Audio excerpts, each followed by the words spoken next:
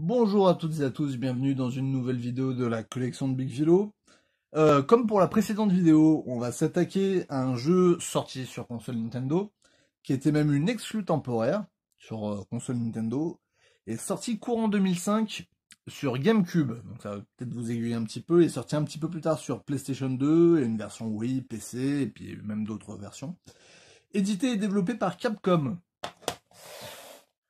Resident Evil 4, Resident Evil 4, parce que moi j'aime bien le dire à la française et je vous emmerde pour ceux que ça ne plaît pas. Euh, donc euh, Resident Evil 4, euh, c'est un peu le tournant de la série des Resident Evil. Il s'éloigne progressivement, pour pas dire plus, du survival horror pour se rapprocher de l'action TPS. Euh, on y incarne euh, Léon Kennedy, donc c'était l'un des deux héros de Resident Evil 2 euh, à Raccoon City, qui cette fois part pour l'Espagne afin de sauver la fille du président américain retenu par une sorte de secte. On en sait guère plus. Resident Evil 4, Resident Evil 4, hein, pour rappel. Donc avant de toucher à, Resident Evil 4, euh, mon passif avec la série, c'est pas, c'est pas non plus euh, la folie. Parce que déjà, le, la série a commencé quand j'étais assez jeune, hein, à 5-6 ans. Donc, euh, à 5-6 ans, je jouais avec des zombies qui, en plus, à l'époque, étaient assez révolutionnaires dans, dans l'approche de l'horreur dans le jeu vidéo. ça, ça faisait pas bon ménage. Mais euh, voilà, je, je regardais mon, mon, cousin jouer, donc au, premier Resident Evil, hein, euh, oui, même, euh, même, à 6, 7, 8 ans. Euh, le pire, c'est qu'on y jouait dans le noir et tout. Enfin, il y jouait dans le noir, moi j'y jouais pas. donc combien de fois je suis sorti en courant de, de la chambre où, où il jouait en, en, voyant jouer à ça. donc voilà, il, il jouait sur, sur la première PlayStation. Et aussi à l'époque, euh, j'avais fait, euh, ouais voilà, à quoi, à 9-10 ans, j'avais fait la démo du, du 2 aussi sur PlayStation chez lui, il y avait pas mal de, CD de démo. Et du coup, j'ai pu faire la démo de, de Resident Evil 2. Euh, alors, maintenant, pourquoi ce Resident Evil 4 Donc, à l'origine, ça vient tout simplement d'une sortie en ville avec, avec un pote. Euh, on faisait les, tours des magasins de jeux vidéo euh, du centre comme on avait l'habitude de faire, euh, ben, soit les mercredis après-midi, soit les samedis après-midi. Parce qu'on sortait en ville, mais bon, nos, intérêts étaient assez limités. donc, on était passé avant à, Feu Virgin Megastore, parce que maintenant ces magasins n'existent plus. Euh, donc on était passé à, Virgin Megastore, j'avais pris euh, Beautiful Joe Red Dot Rumble pour ceux qui ça parle. Et euh, au final, on termine notre tournée des magasins dans une petite boutique indé où je vois ce fameux Resident, Resident Evil 4, j'avais dit que je parlais en français. pour pas trop cher, alors que, alors que le, le, jeu était sorti peu de temps avant. Alors, pas trop cher, c'était 25 euros. Hein, euh, j'aime pas trop parler d'argent dans mes vidéos parce que, enfin, on s'en fout un petit peu. Mais euh, voilà, disons que pour euh, deux mois, deux mois après sa sortie, il me semble, hein, à peu près, c'était pas cher, quoi. donc mon pote m'a à le prendre et tout, il me dit ouais vas-y pour ta GameCube et tout. Lui il avait, il avait la PlayStation 2, il avait pas la GameCube. Mais bon, je chantais aussi qu'il me le faisait un petit peu prendre parce que il voulait aussi voir ce que ça donnait. Euh, qu'est-ce que qu'est-ce que je peux te dire?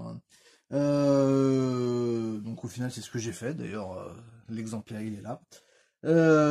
j'ai essayé d'y jouer pendant une semaine, mais j'ai pas trop accroché. je faisais des, petites sessions dessus. bon, ouais, en plus, enfin pour ceux qui ont joué, le début est assez, c'est un petit peu lent. Les 10-15 premières minutes, il se passe pas grand chose on croise un corbeau comme ça, il fait gris, il n'y a pas vraiment d'ennemis, il y en a quelques-uns, mais voilà quoi.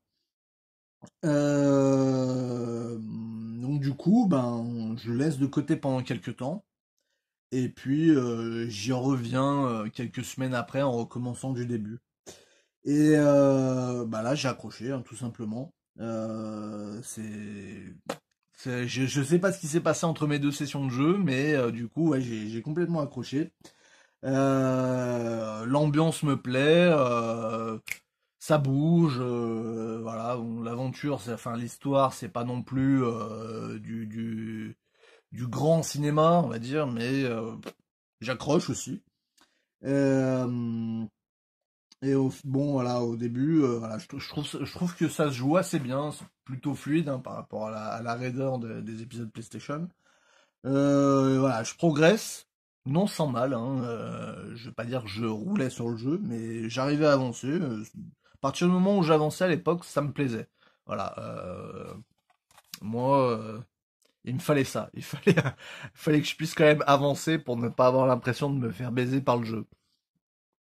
Et au final, j'ai même joué qu'à ce jeu pendant bien deux mois d'affilée. Oui, il m'a fallu un petit peu de temps quand même pour le finir. Bon, après, je jouais pas non plus tous les jours. Hein. C'était un petit peu le mercredi après-midi, éventuellement le samedi si je sortais pas, et de temps en temps le dimanche. au final, voilà, je vais le finir au bout de ces deux mois. Et une fois fini, bah, qu'est-ce que je fais? Je le recommence. Et, euh, et euh, comme ça, ça me permet aussi de tester. Euh, alors, c'était The Mercenaries qu'on qu'on débloquait dans le dans, dans, dans, le jeu une fois qu'on avait terminé le, du coup l'aventure principale. bon, par contre, ça j'ai pas aimé. Hein. Mercenaries, autant j'ai eu des potes qui limite une fois qu'ils l'avaient débloqué ne jouaient qu'à ça pour faire du score. Moi, j'ai pas du tout accroché. Voilà, ça me plaisait pas plus que ça. Euh, donc au final, j'ai fait tester le jeu à des potes une fois que, que je l'ai terminé, notamment le pote qui était venu avec moi. Euh, alors, euh, eux, ils n'avaient pas de GameCube, hein, mais au final, ils ont attendu sagement la, la, sortie, la sortie sur PlayStation 2 pour, pour se le procurer, parce que bah, forcément, ils ont, ils ont accroché. En plus, j'avais terminé le jeu, donc je pouvais leur faire voir un petit peu ce que, ce que je voulais dans le jeu. Donc euh, voilà, ça c'était, c'était, c'était cool, et puis ça leur a bien donné envie. Et euh, voilà, je l'ai refait une nouvelle fois euh, quand eux l'ont acheté. Hein, du coup, histoire de, pouvoir, de pouvoir le faire tous ensemble, on va dire. Au final, ouais, voilà, ce, ce, petit Resident Evil 4, ce petit, ce grand Resident Evil 4, bah, il m'a donné envie de m'intéresser un petit peu à la licence parce que voilà, pour moi c'était un petit peu un truc, euh, voilà, c'était pas des mauvais jeux, mais ça m'intéressait pas plus que ça. Et euh, au final, je me suis intéressé complètement à la série, donc euh, j'ai lu les bouquins basés sur le premier opus, le deuxième. Il y eu, il me semble aussi que j'ai eu Code Veronica, le 3, ah, je suis pas sûr de l'avoir lu, le 3. Celui sur, sur Nemesis. Quoique, ah si, si, si, si, si, si ça me parle, donc euh, je pense que si. Euh, après celui-ci, j'ai acheté le, reboot euh, sur GameCube. Alors j'ai pas fini le reboot, hein, j'ai pas eu la patience, même s'il est magnifique et tout. voilà. Je l'ai même pas sorti, mais je l'ai aussi. Hein, j'ai le, le, reboot, tout comme j'ai. alors, je regarde un petit peu de loin. J'ai le premier Resident Evil. J'ai le ah, j'arrive pas à lire d'ici. Euh, j'ai la version Director's Cut, euh, le Resident Evil sur euh, Saturn aussi. Donc Resident Evil 2, Resident Evil 3 Nemesis. J'ai Resident Evil 3, bah, on va faire une petite pause et vous ne verrez rien. Hop, ni vu ni connu, donc comme je disais, donc je vais illustrer un petit peu mon propos. Donc voilà, je parlais de Resident Evil 4. On va commencer par le début, donc du coup, le Resident Evil sur Saturn. Ensuite, on passe sur PlayStation Resident Evil 1. Ah oui, avec une boîte euh, pas top. Hein. Euh, donc le Director's Cut avec la démo de Resident Evil 2. Resident Evil 2 sur PlayStation. Resident Evil 3 Nemesis. Euh, on va faire un petit retour avec Resident Evil 2 sur GameCube. Le 3 Nemesis sur Dreamcast. Le Code Veronica sur Dreamcast. J'ai aussi le première révélation sur Wii U. Oui, oui, monsieur. Et pour terminer, oh non, je termine pas tout de suite. Hop, je ressors ça vite fait. Resident Evil 2 sur PC aussi. Oui, oui, c'est sorti.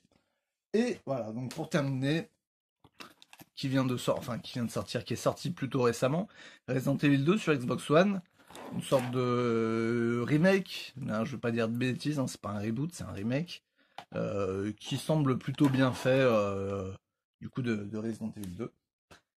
Et donc du coup on va revenir à notre héros du jour, donc Resident Evil 4. au final, voilà, mon préféré reste quand même Resident Evil 2. Hein, j'avais adoré le bouquin. je l'ai fait en, en une journée et demie, ce qui pour moi était quand même un exploit à l'époque. Euh, pour terminer, donc ouais, Resident Evil, c'est pas mon genre préféré. Euh, même carrément le 5 m'a donné plus envie de toucher à la licence. Alors vous allez me dire le 5 c'est plus vraiment du Resident Evil. Hein. Euh, alors bon j'ai quand même fait quelques contemporains, enfin quelques contemporains, les les Chronicles qui sont sortis sur Wii je les ai faits, hein, euh, mais euh, voilà, j'avais j'avais commencé le 5, j'ai vu ce que c'était, j'ai dit non non je ne veux plus toucher à ça.